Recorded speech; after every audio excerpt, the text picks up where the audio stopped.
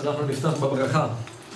מי שברך עבודון לקדושים אברהם יצחק ויעקב יברך את ניסים כהן ומשפחתו, מאיר כהן ומשפחתו, מיכאל כהן ומשפחתו, יצחק כהן ומשפחתו, צבי כהן ומשפחתו, יוסף שמילה ומשפחתו, מרדכי שבת ומשפחתו, יחזקאל שמעון ומשפחתו, מלכה זבולון ומשפחתה, חיים בלג'ל ומשפחתו, שלמה עמר ומשפחתו, עמי חדד ומשפחתו, נחם כהן ומשפחתו, משהו כהן ומשפחתו, עמוס כהן ומשפחתו, ימלא השם ישנות ליבם לטובה ולברכה. וכל אשר יפנו ישכילו, וכל אשר יעשו יצליחו, וגם בהם יקרא שכתוב, אור יחמים בימינה, בשמאלה עושר בכבוד, הון ועושר בביתם, וצדקתם עומדת לעד. בכלל הברכה יהי רצון שהקדוש ברוך הוא יתמלא ברחמים, וישלח רפואה שלמה לכל חולי עמו ישראל, בכללם ישלח רפואה שלמה לאלישע, כחווה בת רחל, ולחבצלת בת מרים, אבי בן ולעמית בן יפית. אבי אברהם בן חלקותה. חיים כהן, ולחיים כהן, לצבי בן רבקה, לצבי בן עליזה, בן ליזה עליזה, בת מרים, ליזה עליזה בת רחל, ליזה עליזה בת רחל, שמעון בן עליזה, שמעון בן עליזה, הודיה בת מרים, אוריה בת מרים, עליזה אישה חיה, בת מרימה, כל המחבל. עמרם בן אסנת. אל נא רפן עליהם, בזכות התורה והרב תגן בעדו, וטוב שאר חולי ישראל. אנחנו נמצאים. לפני שאנחנו נדבר על פרשת השבוע, כן. אז אני אומר בקצרה את מה שתמיד אני מספר. אנחנו נמצאים ביורצייט, ביום האזכרה של אה, חכם ששון מרדכי משה. הוא חיבר את הספר כל ששון, דבר בעיתו, הרבה ספרים הוא חיבר. הוא היה בזמן הסבא של הבן איש חי במגדל. בן איש חי מפליג בשבחו, קורא לו הרב המקובל, המופלא, הישיש. היה מגדולי הדורות. יש אשכולות. והבן איש חי כותב ברב, ב... בבן יהוידע, גם במסכת פסחים וגם במסכת סנהדרין. הוא מביא את המעשה הזה. המשנה אומרת במסכת פסחים שחזקיהו המלך סתם את מי גיחון ולא הודו לו החכמים. זאת אומרת שהוא סתם את מי מעיין השילוח בירושלים ולא הודו לו החכמים. הוא סתם את זה כדי שלחיילים של סנחריב שבאו להילחם איתו לא יהיה להם מים. חכמים לא הסכימו, זה לא... היה צריך להתפלל, לפתוח בישועת השם. בכל אופן, המים, מי השילוח, המעיין, היה סתום שנים רבות עד אחרי פטירתו של אה, חזקיהו.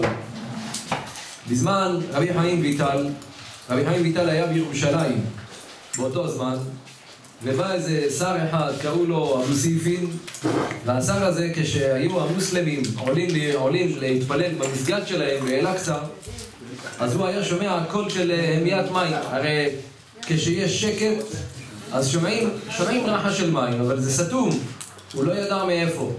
אז הוא ביקש לקרוא לחכם של היהודים, שיבוא ויקרא, יבוא ויגלה לו מאיפה זה. וכשבאו וקראו לרבי חיים ויטל, אז הוא לא רצה לגלות לו, כי בשביל לגלות לו אז הוא יצטרך להשתמש בשמות הקודש.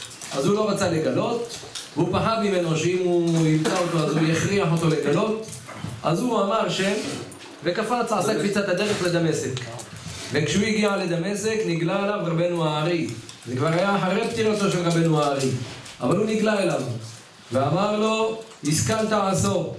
עכשיו, הייתה זמן, היה שעת, שעת רצון גדולה בשמיים, אתה ניצוץ נשמת חזקיהו המלך, ואותו שר של הישמעאלים הוא ניצוץ של אה, סנחריב, אבו סייפי זה אבו החרבות, אבי החרבות, ואם היית מגלה לו עכשיו איפה מקור המים, אז היית מקרב את הגאולה.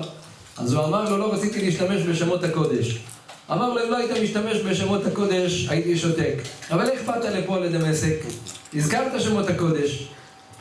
אמר לו, טוב, אז עכשיו אני אלך אגיד לו. אמר לו, עברה השעה, פספסת את הזמן. אומר הבן איש חי, זה האבוסיפין הזה, השר הזה, היה קליפה קשה. עזב את ירושלים ועלה ועבר, גר, היה גר בבגדד, וכשהוא מת, אז עשו המוסלמים, עשו את הקבר שלו כמו עלייה לרגל, כאילו להבדיל, זה קבר של צדיק, והיה לו כוחות הטומאה, היו באים אנשים, נודרים, שוחטים כבשים, והיה פועל ישועות. היו חולים מתרפאים, עד שגם היהודים התחילו להאמין בזה. והיו באים ומתפללים שמה. אומר עד שבא הרב המקובל הישיש המופלא, רבי ששון מרדכי משה, ושכר חצר כנגד אותו הקבר הזה שמה, ועשה ייחודים, עשה מה שעשה, וביטל את הכוח של הקליפה הזאת. הוא אומר, וגם המוסלמים היו באים זורקים את של השקיות האשפה שלהם, את הזבל שלהם זורקים שמה. דבר שנמאס להם. שחטים כבש וזה לא עזר כלום. שחטים כבש ולא עזר. ויאללה שילך, זה לא עזר כלום. אז הוא אמר, כותב שם בן איש חי, מי יודע מה, כאילו, מי יעמוד בסוד השם לדעת כל אחד ואחד בעולם כשהוא בא, אז הוא בא לתקן איזה דבר. ומי יודע מה הוא בא לתקן, הרב, כשהוא להעביר גילולים מן הארץ, לאחרית האלילים קרות יכרתון, לאחרית את כל כוחות הרע, הנה אתה רואה שהוא עשה את הדבר הזה. ככה הוא כותב עליו. השנה שמעתי, החביד הצדקה, זכר צדיק לברכה, סיפר, כשהוא סיפר על ה... זה משהו מוקלט, כשהוא סיפר, הוא נפטר לפני 28 שנה, הרב צדקה. אבל הוא סיפר על הרב. הוא אומר שאת הדבר הזה, אז הוא בירר ורצה לדעת שהסיפור הזה הוא שומע, הוא דבר אמיתי, אז אפילו שהוא שמע אותו, אבל הוא חקר ובדק עד שהוא שמע את זה מפי עד ראייה. מה? הוא אומר שכשהם היו שם בבגדד, אז היו מדי פעם באים חיילים, ערבים, פורעים ערבים, נכנסים לבתים, עושים מה שהם רוצים והולכים. ואין פוצה פה ומצפצף, אי אפשר להגיד כלום. היהודים שנמצאים שם בזמן הזה, כשהפורעים נכנסים לבתים, ויושבים ככה בפינה בשקט. מה שהם רוצים הם ייקחו. אז הוא סיפר שפעם אחת נכנסו כמה פורעים לבית, וזה היה בית כנראה של חכם ששון מרדכי משה, שגרו שם הנכדים שלו, והם לקחו כמה ארגזים. בין הארגזים היה כמה ארגזים של כתבי הקודש, של ספרים שלו, כתבים שלו שהיו שם. הם לקחו את זה והלכו.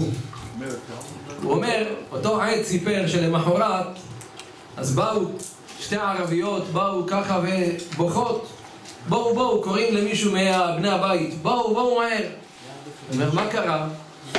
אז הם מספרים, הם יימח שמם, הם היו, לקחו ארגזים, הם לא יודעים מה יש שם. לקחו, חשבו שיש שם אוצר. כשהם לקחו ופתחו, ראו שיש שם ניירות, ניירות כתובים. אמרו, טוב, נעטוף בזה גבינה צהובה, נעטוף בזה את הדגים, שרגילים היו לעטוף בזה. אז כשהם פתחו, הוא אומר, ניגש ערבי לפתוח, רצה לתלוש דף מהכתבים של הרב, נפל מת. הוא אומר, בא עוד אחד, נפל מת, הם פחדו לגוע. הוא אומר שבא אותו, אותו אחד בא לבית כדי לקחת, כך הוא סיפר לרב צדקה. אומר, בא לבית, אז הוא אומר, הקרטון עומד בצד, והערביות מצביעות מרחוק, כאילו זה פצצה מתקתקת. הנה, עדה, לא צריך להתקרב לזה, רק תיקח את זה, תיקח את זה לבית. תראו כמה היה גדול כוחו של הרב, גם לאחר פטירתו. אחרי הפטירה, כשהוא היה פעם, ב... היה בבית הקברות, זה קראתי בתולדות חייו, אז היה אחד הקברנים שהתעסקו בקבורת מת, זה היה כבר שעת לילה, והוא מספר, אחד הקברנים, שהוא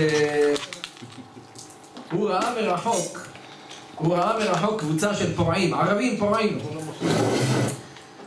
אז הוא שמע קול מאחד הקברות שאומר לו שיתחבא, שיתחבא, כאילו... הוא לא ידע מי זה. אז הוא התחבא באמת. אחרי זה הוא ראה שהייתה קבוצה של פורעים, אז הוא ניצל. אבל כשהוא אמר, עמד שם ליד הקבר, אז הוא אמר, אני משביע פה, מי שאמר לי, שיבוא יגיד לי מי הוא. הוא מספר שבלילה, אז בא אליו הרב, חכם ששון, אמר לו, אתה לא מתבייש? אני הצלתי לך את החיים שלך, אתה עוד משביע אותי ומטריח אותי לבוא אליך? אז הוא אמר שהוא קיבל על עצמו שילמד משניות, שיאמר קדיש, ילמד בספרים שלו, לעשות לו נחת רוח לנשמתו, אבל כמה היה גדול כוחו של הרב, אחד מהקברנים שם, בבגדד. עכשיו, הלילה זה כבר הפעם, השנה העשירית. אנחנו עשינו לפני עשר שנים בתש"ע, אז התחלנו לעשות את ההילולה. חודשיים לפני כן עשינו הילולה לבן של הבן איש חכם יעקב חיים, זכר צדיק לברכה. לפני כן עשינו לבן איש זה היה פתיח, הילולה של הבן איש אחר כך עשינו את ההילולה של חכם יעקב, זה היה אצלי בבית, שם עוד בקרוון. ואחרי זה מצא חן בעיני מאיר הרעיון, אז הוא אמר לי, מהיום אתה תמצא לי רק את התאריכים, ההילולה עליי. ובאמת, מאז, לאורך ימים ושנים טובות, בעזרת השם שנזכה, שיפיצו וירננו שוכנה עפר בקרוב, אבל מאז, אז כל שנה, לא משפט הבכורה, יש לו את הזכות, שהזכות הזאת של ההילולה שמורה לו, ובעזרת השם, זכות הרב תגן בעדו ובעדכם. אמן. אלף המגן, ויתמלאו משאלות ליבו ולבכם לטובה ולברכה. אמן. וכל אשר תפנו תשכילו. ותצליחו, אמן. ותזכו בעזרת השם לשמוח בשמחת כל יוצאי חלציכם, אמן. לבריאות טובה, אמן. לנחת, עוד ינוגון בשיבה, דשני ורעננים יהיו. הרב כותב כאן, נאמר דבר בשמו, ואחר כך נעבור לפרשת השבוע. הרב כותב כאן על מידת הכעס. הוא אומר מידת הכעס, אני אמרתי, זה מי שזוכר, בדרך כלל מתאים לאיתמר לזכור את זה. אמרתי, חלק מהדברים אמרתי לפני תשע שנים. אומר הרב כאן, מידת הכעס, הנה הגיד רבנו הארי על מידת הכעס, כי הוא היה מקפיד עליה יותר משאר עבירות, ונתן טעם לדבריו. כי הלא שאר העבירות אינם מחליפים את הנשמה כמו הכעס. זאת אומרת שמחליפים נשמה לבן אדם. והעניין, כך הוא אומר, והעניין, כי כאשר יכעס האדם מסתלקת הנשמה הטהורה אשר בו, ותיכנס בו נפש מצד החיצוני, השם ישמור. ולטעם זה, כל הכועס, אם נביא, נבואתו מסתלקת. אם חכם, חכמתו מסתלקת. אם הוא מבין, יוצא מדעתו. מי לנו גדול ממשה רבנו? משה רבן של כל הנביאים. כתוב ויקצוף משה על פיקודי חיל, ואף על פי כן נעלמה, נעלמה ממנו ההלכה. טוב, הוא עוד מעריך בזה. וכתב מערכו ז"ל, כמעט שהוכיחני מורי כמה פעמים כשהייתי מתכעס עם אחי, שמעו על מערכו, רבי חיים ויטל, היה לומד עם אח שלו, שלפעמים הוא לא היה מסביר פשט נכון, היה טועה בהבנה, אז הוא היה כועס עליו. הוא אומר, ואפילו בזה היה מוכיחני, רבנו הארי היה מוכיח אותי מאוד. לפעמים כשלומדים, וההוא השני לא לומד טוב, לא מבין טוב, היו לפעמים, מרים את הסטנדר, די, תפסיק לבלבל את המוח, אתה לא מסביר טוב. זאת אומרת, לא שהוא שונא אותו, הוא אוהב אותו, אבל אה, זה לא נכון מה שאתה אומר, הפירוש לא ככה. אומר, והחכמים יגידו כי הזורק כלי מחמתו משבר או קורע על שום דבר, כרוז יוצא ואומר, פלוני הקריב קורבן לעבודה זרה. ולזה אמרו בגמרא כל הכועס כי לא עומד לעבודה זרה. הוא מעשה שהיה בימי רבנו הארי, שנכנס בה רוח, נכנס בה איזה דיבוק, והייתה מצטערת ימים רבים. ושאל רבי חיים ויטל את הרוח על סיבת היכנסו בגופה. גם להיכנס לגוף, לא נותנים רשות, יש הרבה רוחות משוטטות, לא נותנים לכל רוח להיכנס לאיפה שהיא רוצה. אז למה נתנו רשות לרוח להיכנס שמה? אמר לו אותו הרוח, אומר לו אני ישנתי לילה אחד בבית פה, הייתי בתוך איזה קיר, אני יודע מה, באיזה מיטה, ובאשמורת הבוקר קמה זאת האישה ממיטתה. היה קר בצפת, ככה כמו עכשיו, רצתה להדליק אש כדי להדליק את הגחלים, להסיק את הבית, ורצתה להוציא אש מהאבן, והסמרטוט השרוף לא קיבל את האש. והיא מנסה ולא הולך, מנסה ולא הולך, מנסה ולא הולך. אוף, כבר נמאס לה, השליכה את האבן והברזל ככה על הרצפה בכעס ואמרה, תהא לשטן. שתי מילים. הוא אומר, מהמילה השטן, היה לי רשות להיכנס בתוכה. כי מלאכי חבלה נתנו לי רשות להיכנס. אומר, תראה כמה חמור העוון הזה של הכעס. כמה חמור העוון של הכעס. אומר, משל למה הדבר דומה, ונגיד כבר את ה... משל למלך, היו לו בנות חשובות ויפות תואר. ולא היה רוצה לקחת מבנותיו, לתת מהבנות שלו, לא לשרים ולא לבני המלכים, אלא בראותו בני אדם מיוחסים, ואפילו אם יש שפלים שהכבוד והממון והגדולה ממנו היא, אני מגדל אותם ומנסה אותם יותר מבני המלכים. נתן בנותיו להם והרים אותם על כל השרים והסגנים. אחד מהם אחר כך הלך ולקח, ולקח שפחה בזויה וגרועה, והושיב אותה עם בת המלך. אחד נשא שפחה בזויה כמו אותה השפחה והושיב אותה למעלה מבת המלך. ואחד הלך וגירש קודם כל את בת המלך, שלח אותה לבית של אבא שלה והלך ונשא שפחה בזויה. את מי צריך להעניש הכי הרבה? זה השלישי. הראשון, בסדר, לקח גם איזה מערוג'ה כזאת. השני, לקח איזה אחת כוכבה, אבל כיבד אותה יותר ממה שהוא מכבד את בת המלך. השלישי, העיף בכלל את בת המלך מהבית, ולקח איזה סמרטוט אחת מהשוק. תגיד לי, אתה משוגע, אתה נורמלי? מה אתה עושה? הוא אומר הדבר הזה שהקדוש ברוך הוא נתן את הנשמות הטהורות לנו, היהודים, חביבים מישראל. אז הוא אומר, אדם שהוא כועס, אז הוא טורף נפשו, הוא מסלק את הנשמה שלו, את הנשמה הטהורה שבקרבו, ולוקח השם ישמור נפש מהחיצונים. כמה אדם צריך להיזהר. זה בסור מרע. עכשיו אני אוסיף עליו ועשה טוב. הרב כותב כאן, הפך כמגדל הלבנון. הוא כותב את זה בספר אחר, אני צילמתי ושמתי לי את ההעתק כאן. הפך כמגדל הלבנון. הוא מביא בדרך רמז, תשמעו, זה מוסר השכל גדול. נראה שיש לפרש בדרך רמז. הפך זה מלשון כעס, כמו וחרה אף, וחרה אף. הכעס מתייחס לאף, וחרה אפי. הוא אומר, מי ממתק ומשכך את האף מהדינים האדומים? מי יכול למתק? מי יכול לשכך את, הכ... את הכעס, את חרון האף שיש ב... למעלה בשמיים? כשיבוא לידו כעס ולא יתכעס, אז מלבן כל האדומים על ידו. וזהו ריח ניחוח להשם, כאדם המריח בסמים. וזה האריכות אפיים של הצדיקים שמעלה לפני הקדוש ברוך הוא כמו ריח ניחוח ומשכך את הדינים. וזה הוא אומר, הפך כמגדל הלבנון. אפך, כאילו שבן אדם כובש את הכעס שלו, זה כמגדל הלבנון, זה מלבין את העוונות של ישראל. זה כמה סנגוריה מושך על עם ישראל. כשבן אדם מתגבר על מידת הכעס, וכשבן אדם מעריך ומוותר, כשבן אדם מוותר אין מושג, אין לתאר ואין לשער מה בן אדם יכול לזכות. זה הוא אומר, אפך כמגדל הלבנון, אפך, הכעס שלך, אם את הכעס שלך כבשת, אז אתה יכול להרים אותו, אתה יכול לזכות כמגדל הלבנון, כמו בית המקדש, שהיה מלבין את עוונותיהם של ישראל, וכשבן אדם היה מגיע לבית המקדש, אז היה מושך את כל הישועות והיה מוצא שפע של ברכות וישועות היה שם, ככה כל בן אדם יהיה פשוט באשר הוא, הוא יכול לזכות לכל זה, אם הוא מתגבר. לפני פחות מחודשיים, מעשה שהיה הפלא ופלא, זה לא יאומן כי יסופר, אז סיפר את זה בעל המעשה. סיפרו את זה, זה התפרסם שבוע שעבר בעלון השגחה פרטית, יש עלון השגחה פרטית? בכל הארץ מפרסמים את זה.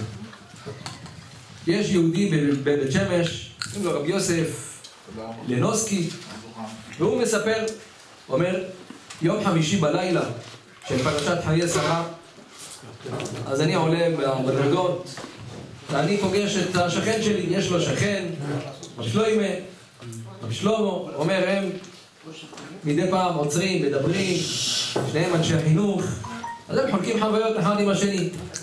אומר, באזור יום חמישי, אז כשהוא פגש את החבר שלו, כשפגש את השכן שלו, אז הוא ראה שיש לו איזה משהו, הוא צריך לפרוק משהו מהלב. אז הוא אומר לו, תשמע, מחר, ככה הוא מספר לו, אותו שלמה, הוא מספר לו, אומר לו, יש לו איזה קרוב משפחה שנפטר, נפטר בחוץ לארץ, והלוויה מחר, לא כל הילדים מספיקים להגיע, הלוויה מחר ביום שישי. אותו קרוב משפחה, ככה הוא אומר, אותו קרוב משפחה עשה לי צרות צרורות. זאת אומרת, וחלק מהדברים, אז אני אוכל את הפירות שלהם, הגרורות שלהם עד עכשיו, אני סובל מזה. ואני לא יודע מה לעשות. איך אשא פניי? איך אלך להלוויה? וזה דברים שמאוד קשה לי לסלוח. אני לא יכול. בנוסף לזה הוא אומר לו שאשתו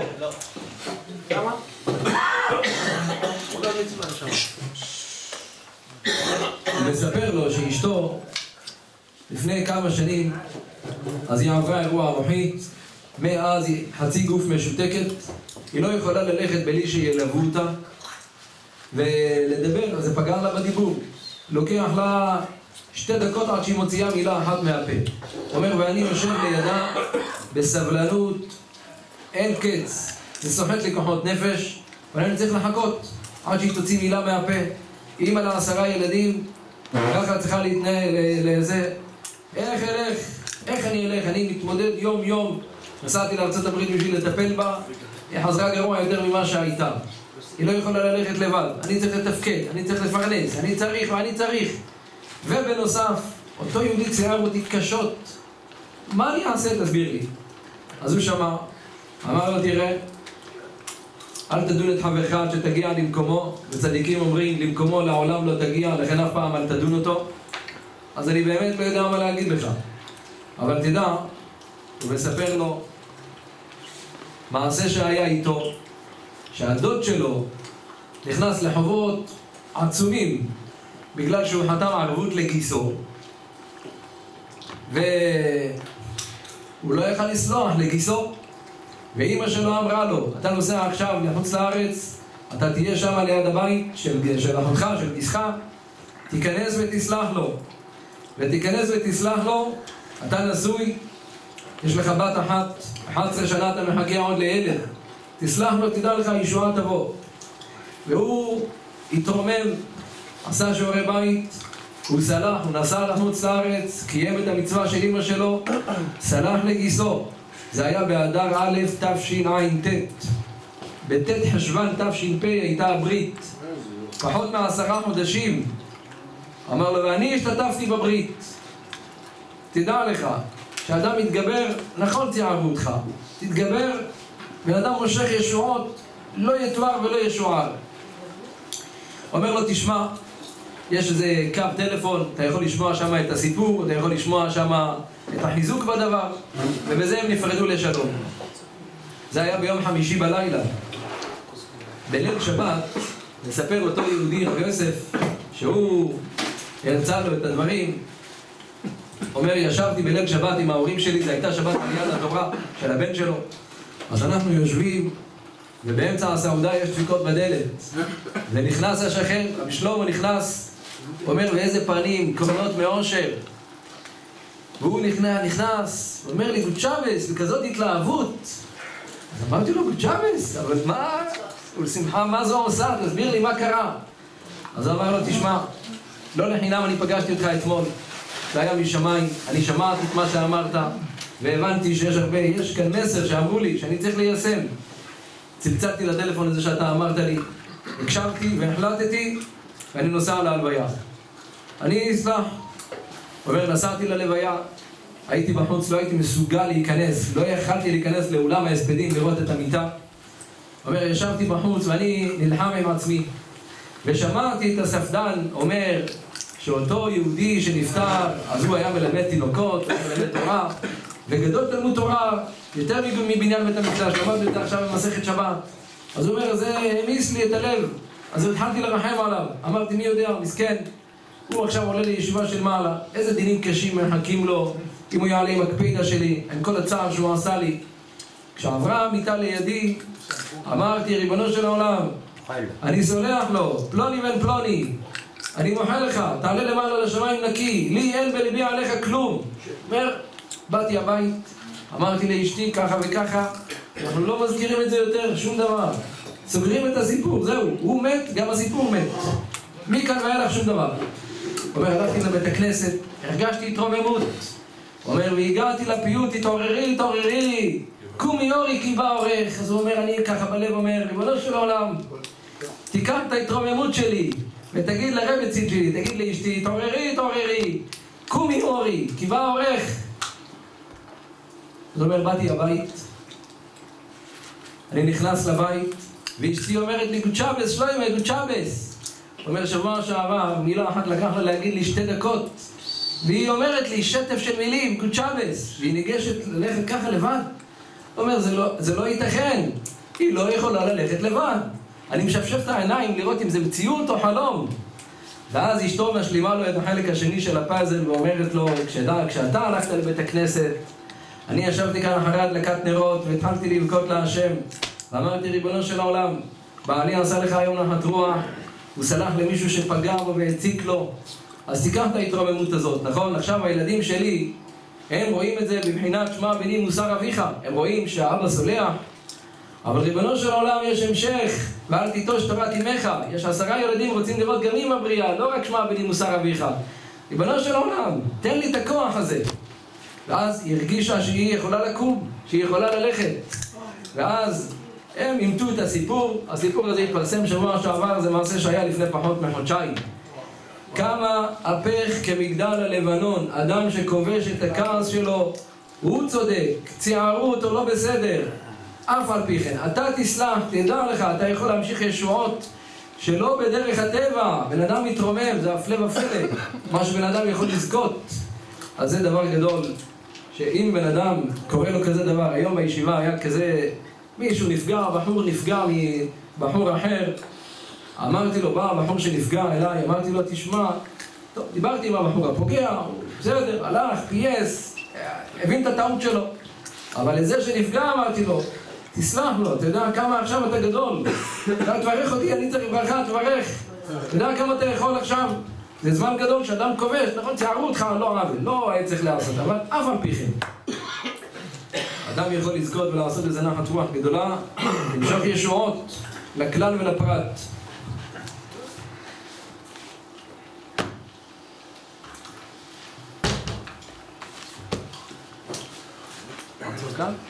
שבוע, פגשת שבוע. רוצה לעשות את זה?